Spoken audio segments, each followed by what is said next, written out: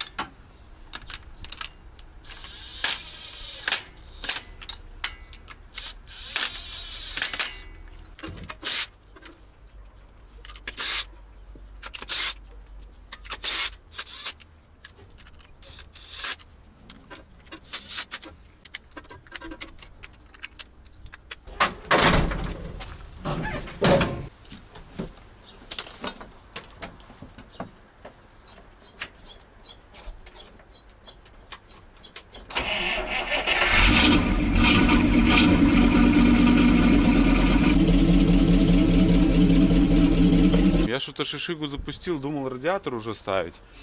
А на самом-то деле нам нужно еще поставить генератор здесь, собрать ремни все. И только тогда все это дело собирать здесь радиатор, потому что здесь сейчас удобно подлазить. Вот, поэтому э, надо как-то мутить генератор, блин, устанавливать. И вентилятор, соответственно. Сейчас прикину, как здесь что будет у нас стоять, и буду изготавливать вот сюда крепление. Так, решил я не спешить пока что с нашим генератором. Надо сначала нам посмотреть, шланги подходят ли, что я купил. Потому как вдруг придется их менять, если что. Немного длинноватый он, зараза. Если бы было две шестидесятки, было бы вообще супер. У нас один был шестидесятый в наличии, второй восьмидесятый.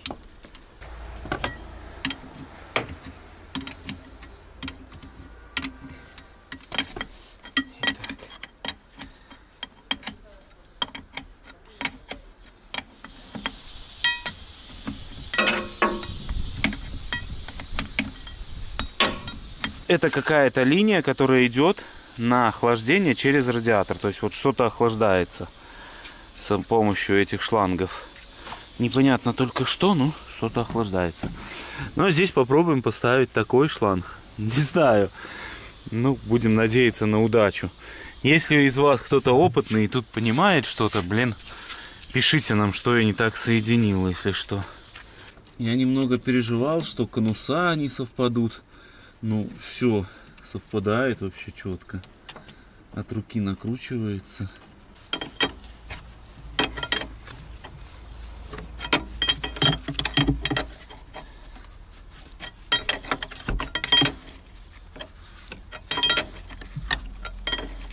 шланги все зажал. Единственное, за что буду переживать, естественно, что я не соединил там насос в насос. Знаете, один насос будет качать в другой. Здесь их стоит штук 5, наверное.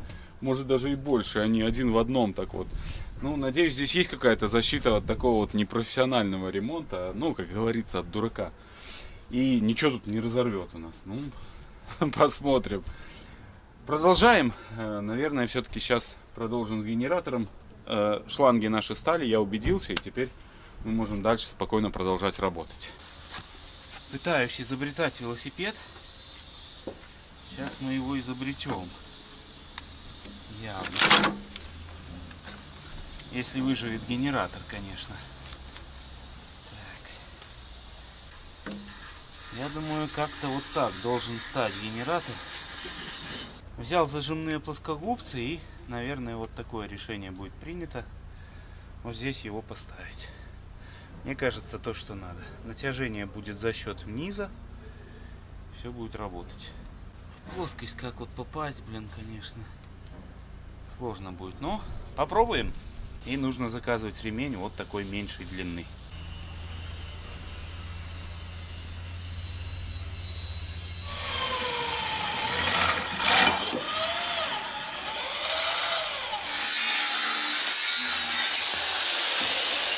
Изготавливаю наш кронштейн, и вы знаете, это отнимает очень-очень много времени, к сожалению. Пока сделаешь то, пока то, и вот просто тратишь очень-очень много времени. Но от этого никуда не деться. Мы строим эксклюзивные проекты, и поэтому приходится изобретать, причем изобретать постоянно. Это будет втулка, э, направляющая генератора. То есть то место, то самое место, куда будет одеваться генератор.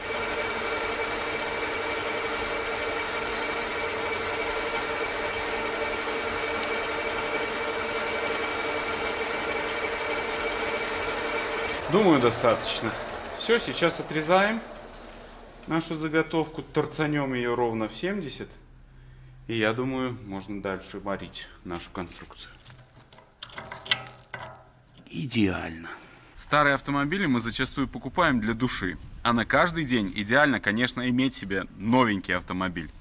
Да, на них сейчас цены ого-го какие, но есть все же способ как купить машину выгодно. Заходим на сайт автоспот.ру, просто выбираем марку и модель. И перед глазами у вас появятся все предложения, которые существуют на данный момент в вашем городе.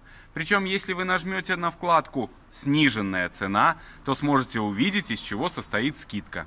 Кредит, трейдин или при покупке за наличные. Ну а если в вашем городе нет хорошей скидки, то не беда. Можем выбрать, к примеру, соседний город и глянуть, что их дилеры предлагают – не игнорируйте этот способ, ведь разница в цене может достигать 200 тысяч рублей. А после того, как нашли автомобиль, просто оставляйте заявку в два клика, чтобы забронировать за собой цену и отправляйтесь за машиной. Все вот так вот просто. А на сайт автоспот.ру, ссылку я оставил в описании, заходите, пользуйтесь.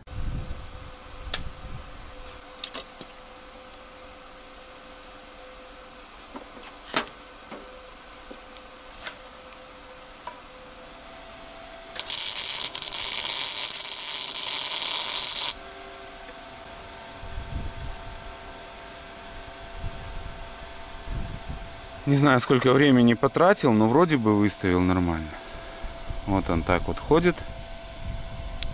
И относительно шкивов более-менее ровно. Это очень важно. Как в эту попасть плоскость, это всегда вопрос, но, по-моему, удалось. Вот если так смотреть, вот по шкиву, можно видеть, что он ходит хорошо, по помпиному шкиву. Вот, если я отвожу, он плоскость не теряет, значит, все будет четко. Наверное. Но строить кастомные проекты это всегда сложно. Эксперименты это всегда долго, дорого и очень часто безуспешно. Но в нашем случае удача на нашей стороне, поэтому сейчас мы тут прихватим, обварим все это и э, будем продолжать установку. Как раз приедет ремень, потом сделаем еще нам натяжитель нужно будет, наверное, вот сюда его сделаем. Этот болтик у нас, видите, заломан. Попробуем его выкрутить, если удастся, открутим.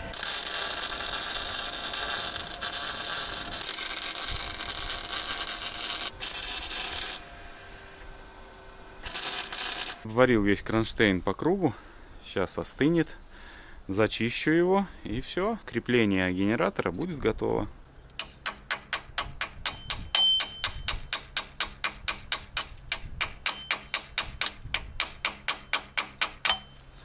Пробую выкрутить заломыш. Пока что безуспешно. Мы свое призвание не забудем. Смех и радость мы приносим людям. Установил здесь отверстие, нарезал резьбу, ну точнее старую установил. И мы теперь его сможем использовать для натяжителя в том числе идеально. Кронштейн готов, краска высохла. Сейчас покажу вам. Вот такой кронштейн. Все по заводу. Практически в оригинале.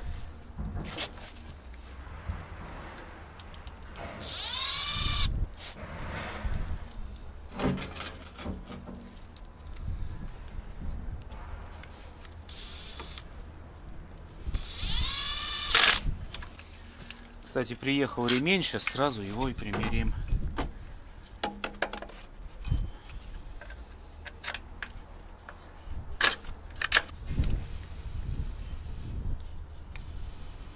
Ух ты!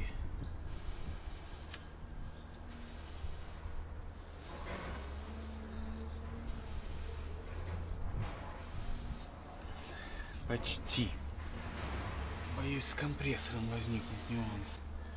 А может и нормально будет. Надо короче, а то у помпы малая очень будет буксовать помпа. В целом все нормально, но единственное, ремень, конечно, длинноват. Решил я подождать, перезакажем, сделаем другой заказ. И я думаю, будет работать. Сюда сейчас зажму, я закручу. Наверное, натяжитель нужно будет здесь сделать. Но это мы пока что оставим, потому что непонятно, какой будет ремень и какой длины нужен натяжитель. Это пока что мы оставим.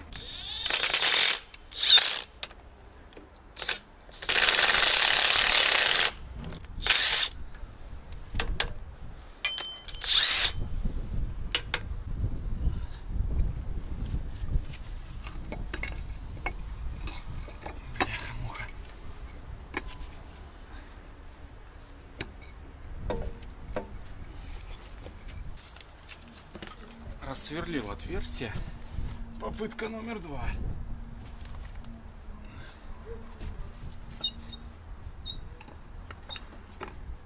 Зажал пропеллер. Один болтик не смог наживить, но я думаю, этого крепления предостаточно для такой нагрузки. Ремушки тоже вставил. Нужно что-то придумать с натяжителем. Этим мы обязательно займемся. А также подключил компрессор, давление масла и слив тоже есть. Сейчас занимаюсь выключателем массы, пока здесь нет радиатора, здесь удобный доступ. Я могу сделать массу, э, буду ставить массу советскую, вот такую, только что снял ее с Кунга, сделана в СССР.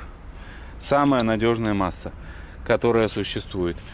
Вот, и, собственно, потихоньку движемся. Вот снял кронштейн, здесь стояла иномарковская, но она, к сожалению, пришла в негодность. Сейчас здесь попытаюсь просверлить отверстие под нашу массу и зажмем ее, прикрутим. Вот здесь она будет установлена. Вот здесь есть возможность открыть окошко, включ... нажал массу, включил и, пожалуйста, запускай мотор. Пробуем просверлить дырку. Не знаю, как это будет выглядеть без э, направляйки. Ну, сейчас попробуем. Начал искать корончатое сверло и нашел максимум диаметр 53. У массы же у нашей диаметр 55. И вы знаете, пришла светлая мысль, зажал нашу пластину в токарный станок, вот таким образом, каким-то странным образом. И у меня получилось. Сейчас болгаркой обработаем все это дело. И будет работать. Как по заводу, можно сказать даже.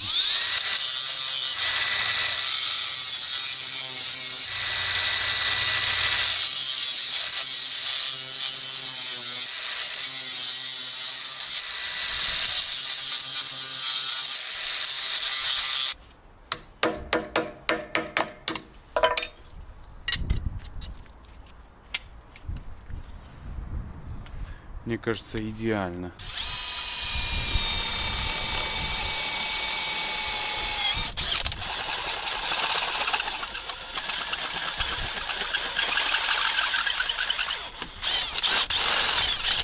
Что ж, мы можем почти уже устанавливать наш выключатель массы. Здесь я зачистил посадочку, там все зачищено. Прикручиваем. Огромная благодарность Виктору. Немецкая клемма, которую нам он подарил и она будет установлена на немецкий погрузчик. То есть все у нас в оригинале. Я сразу прикидываю, как будет оптимально, чтобы это все было установлено и длина была подходящая.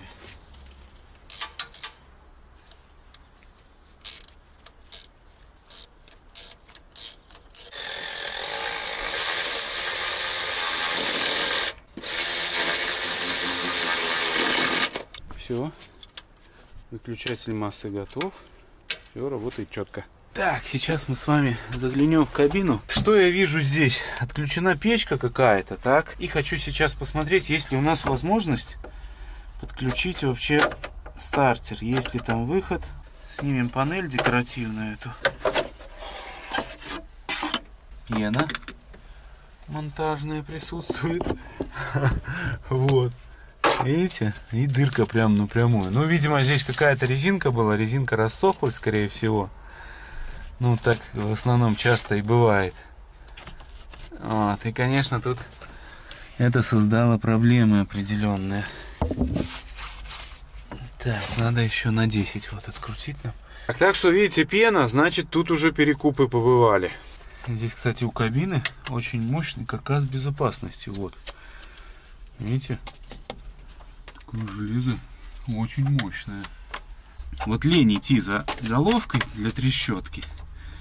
И поэтому страдают руки. Так часто бывает. Да, здесь, конечно, проводки. Мама, не горюй.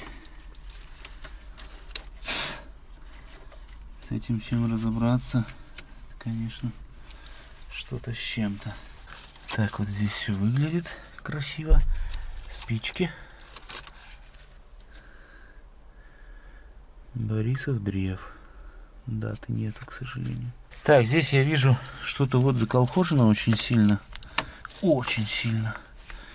И вот наш замок. Замок мощный такой, блин. Конечно, хотелось бы от него ключик. Очень хотелось бы. Снял вот такую резинку, просто сверху стоит. И здесь гайка, видите, такая. Я. Может, я и зря начал этим заниматься, блин. Такое чувство, что у нас осталось только ключ вставить и запустить. Там я просто замерз уже на улице. Сейчас гляну замок и поедем уже домой. Так, две фишки на замке.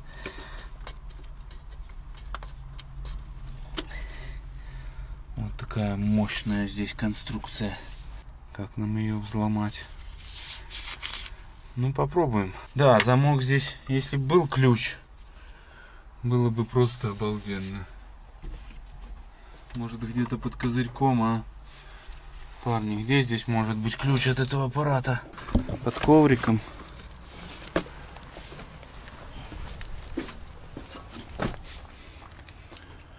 Чик, ключ лежит. Ну-ка, ключ, давай. Ты где? Ага. Нету здесь ключей. Много всяких штуцеров каких-то нам досталось. В подарок. И вот наш ручник, видите, в каком виде. Зальем ВДХой, а там потом посмотрим. Всю ночь не спал, думал, как же реализовать здесь натяжители, как запустить. Очень ответственный момент, сильно переживаю по поводу гидравлики. И э, вы знаете, как э, моему тезке Дмитрию Менделееву пришла мысль ночью, как реализовать натяжитель. Сейчас вам покажу. Сюда вот мы привариваем уголок, вот к этой площадочке. Этот уголок будет вот так у нас отклоняться. А сюда привариваем болт, грубо говоря, и болт будет вкручиваться и натягивать, отводить генератор. Все предельно просто и будет доступ отсюда хороший, потому что здесь, как вы помните, у нас такая плита стоит. Вот, а отсюда будет доступ э, все это дело регулировать. Мне кажется, прям нормальный вариант. Сейчас отпиливаем уголок вдоль. Длина его чуть меньше этого. И все, я думаю, даже торцанем так, чтобы аккуратненько это все выглядело. Вот, и такого способа натяжитель, я думаю, будет работать оптимально. Сейчас глянем, насколько у нас отходит этот компрессор. Все отлично. Провар будет и снизу, так что нормально будет. Первый элемент натяжителя нашего готов. Вот сюда он станет. Сейчас выточим сюда бочонок, который будет упирать вот эту вот конструкцию нашу.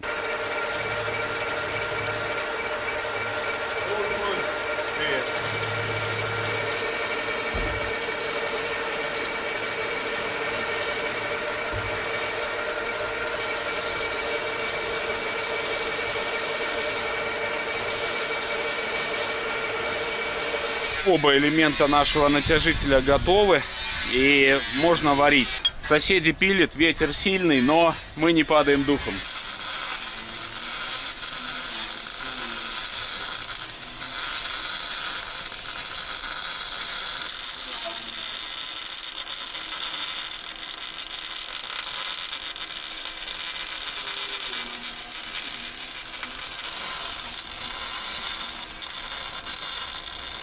Вот такой шовчик. Так что, друзья, не зря я на заводе металлоконструкции отработал 20 лет. Качество сварного шва просто не обсуждается. Немного подзавис с болтом. Сразу не нашел подходящего, как именно который нам нужен. Пришлось дорезать резьбу. Вот так эта конструкция будет работать. А, будет упираться сюда. Здесь один недостаток у нее. Это будет большая нагрузка на вот этот болт. Ну, не знаю. Почему-то, если во сне мне пришла эта конструкция, значит, она должна жить. Ну и заодно проверим, работоспособна ли она. Да, гораздо надежнее система, когда просто натяжитель где-то вверху.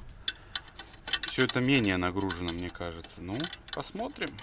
Ну, что думаете вы, будет ли это работать все? Пишите в комментариях. Но, я, как я уже сказал, что если это пришла конструкция во сне, значит она достойна жизни. Продолжаем дальше.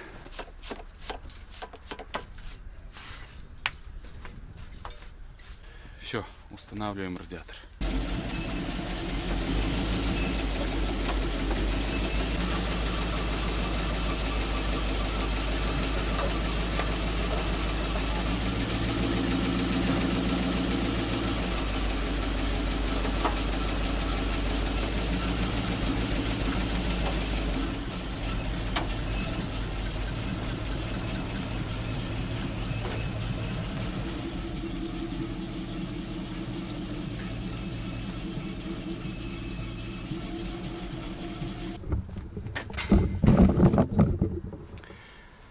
Надеюсь, я тут ничего не сломал.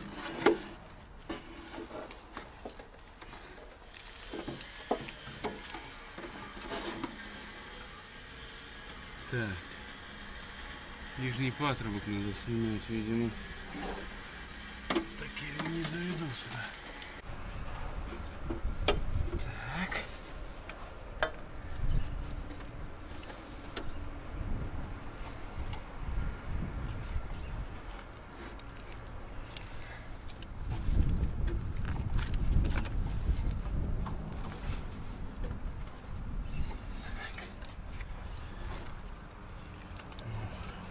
наживлять, наверное.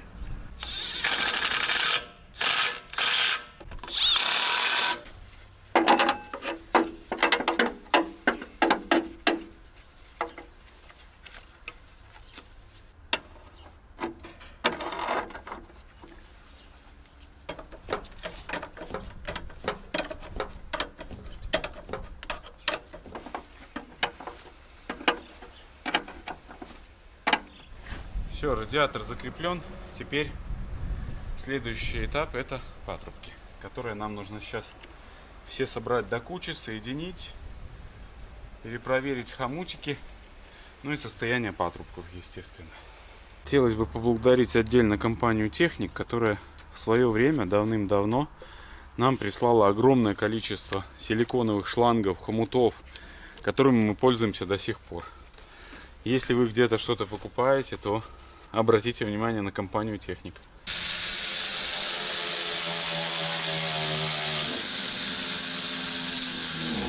Эта сторона у меня готова. Все хомутики зажаты. Единственное, не нравится мне вот здесь конструкция, но ничего не поделаешь.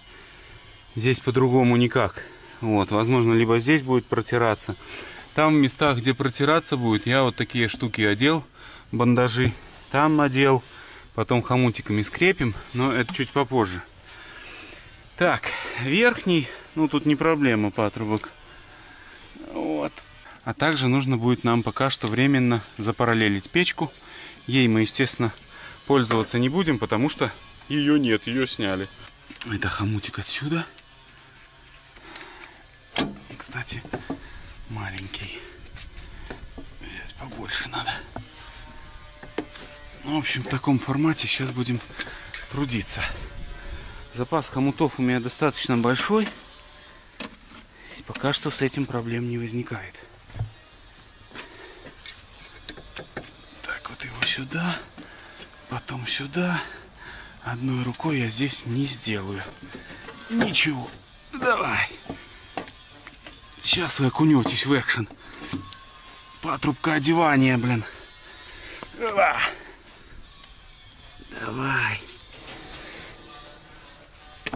Ладно, все, хватит болоться.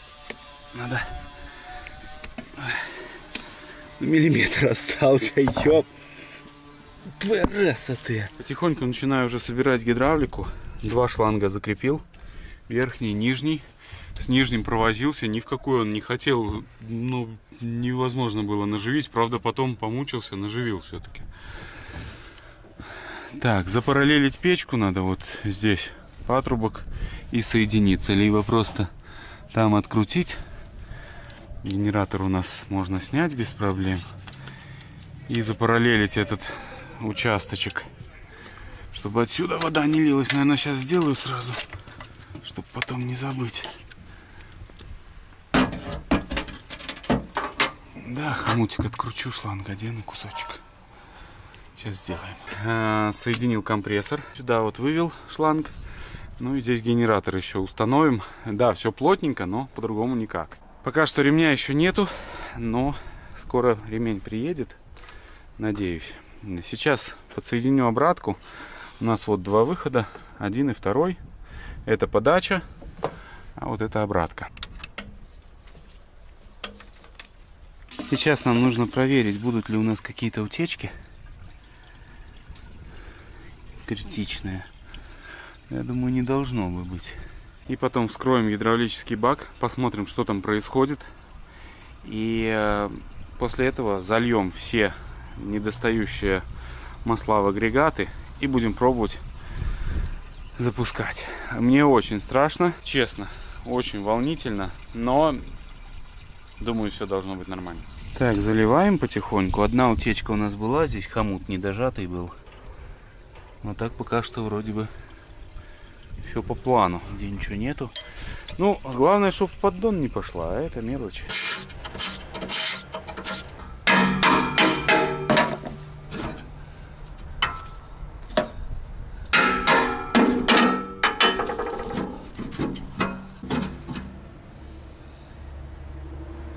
Мама. О, завод. Здесь все выглядит вот так.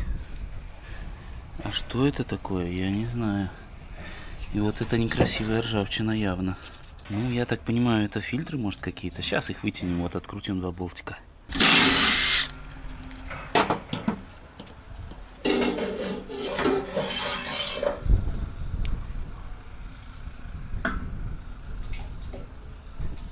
Кстати, масло чистое.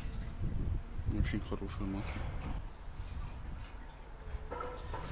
А вот тут надо посмотреть. Это здесь как раз самое днище, и можно рукой залезть. Наверное, мы туда залезем.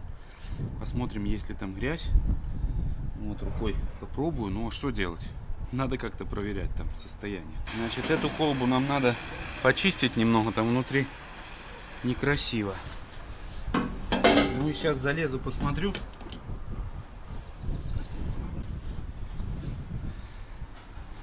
Но в целом ничего критичного. Нашел вот здесь болтик. Сейчас его откручу. Возможно, смогу слить это масло. Все-таки принял решение, что более правильно будет слить масло и залить свежее. Хотя бы не будет конфликта. Там масла немного. Заодно протрем все. Ну, если сольется. Если нет, то оставим. Нифига нету, шарик там какой-то. Сейчас нажмем, вставим отверточку туда и все будет нормально. Сольем.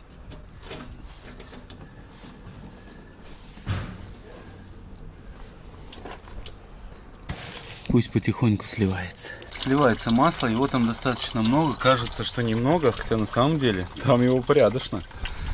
Но пусть сливается, пока что мы сможем залить масло в наши другие механизмы. Начнем с коробки. На щупе я проверял, там было прям чуть-чуть хваталось. Он самый-самый на самом кончике вот. Ну, видно чуть-чуть. Сейчас зальем. Прям чуть-чуть попробуем и посмотрим, появится или нет. Долил порядка 8 литров, только после этого масло появилось на щупе. Ровно уровень. Все, пошли дальше. Оба. Очень медленно заливается масло, щуп тоненький. Потихоньку-потихоньку буду лить. примерно вот с такой скоростью идет. А кто-то приехал из рейса к нам. Юра, что ли? Да. В общем, у нас большая проблема. Начал заливать в привод насосов и оттуда льется откуда-то ручьем. Откуда пока не могу определить. Но это большая проблема явно. Будем сейчас смотреть. Прежде чем лезть в распределитель насосов, решил здесь навести порядок, потому что все капает на голову. Вот, нужно здесь все дочистить. И потом будем разбираться, что у нас там за проблема. Бак я весь очистил. Все идеально здесь выглядит. Вот. Но масло заливать не буду, потому что, возможно, его придется нам демонтировать, чтобы добраться до привода насосов и найти причину, откуда там может что-то плыть. Вот, сейчас попробую залезть под низ, посмотреть, может быть, я там что-то увижу такого необычного. Такие новости, друзья, очень-очень скучные новости. Собрал здесь гидробак я и пока что не могу найти причину, откуда плывет масло. Э, решил снять крыло. Возможно, когда сниму это крыло, то появится доступ, чтобы посмотреть, откуда у нас там плывет. Под гидробаком нам нужно вот как-то глянуть. Такое дело, откручиваем здесь туча гаек. Вон, сколько их здесь. Попробуем открутить. Открутил я крыло по периметру. Сейчас попробую его отсунуть. Но скорее всего придется запускать шишигу. Юра там греет стремянки, поджимает. Ну, это жопа полная. Самое главное, что вот это был последний этап, когда уже осталось только залить масло в эту в коробку и можно запускать мотор. Ремень еще поставить.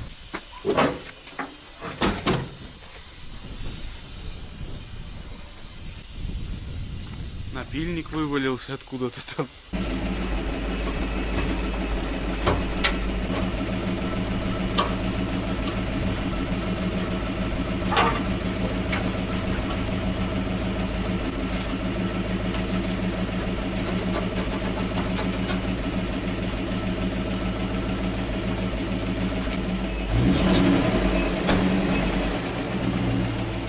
Ну, в общем, что снимал крыло, то зря. Никакой тут доступ не открылся. Вот, блин. Ну, видимо, придется снимать бак. Юру просил чуть долить. Где-то с самого низа плывет. Может тупо, знаете, сливная пробка не зажата. Но до нее никак не добраться, я не представляю. Как это должно выглядеть?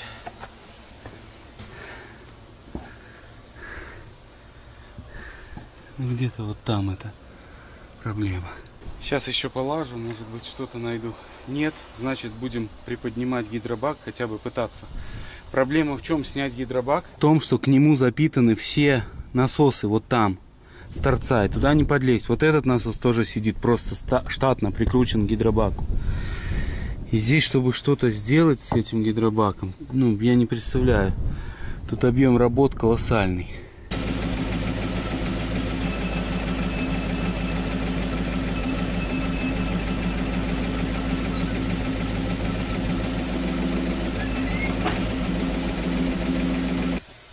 Ровно столько я смог поднять. Шишига уже поднимается в небо. И ни хрена тут не видно, блин. Ё-моё. Очень натянуто уже. Дальше опасно.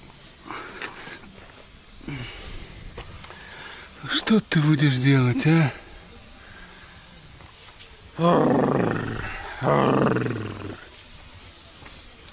Ладно, сейчас сюда посвечу, может что-то увижу.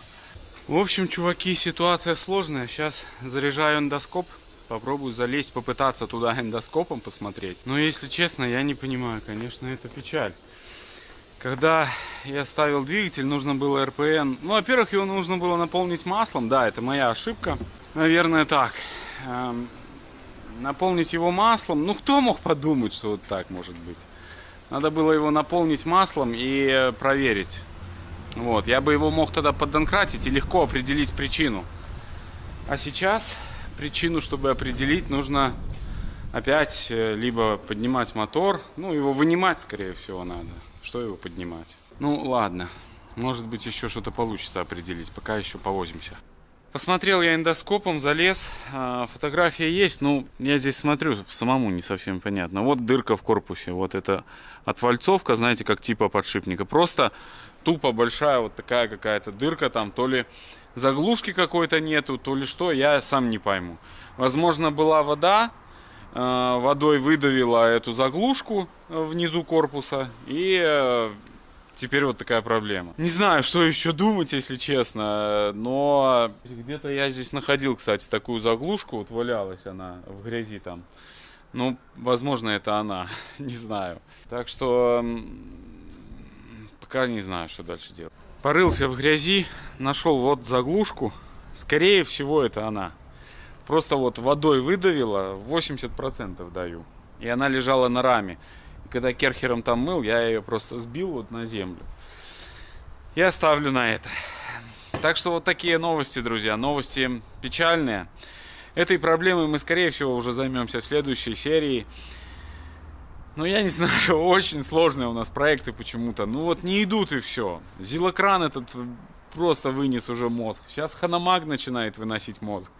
Но рано или поздно это должно закончиться. Поэтому вы уж не обессудьте, но с вас, конечно же, поддержка, лайк, ну и комментарий. Только хороших людей на жизненном пути, всех благ и всего самого, самого наилучшего. Я не унываю и не сдаюсь. Тут главное не падать духом. Увидимся в следующих сериях.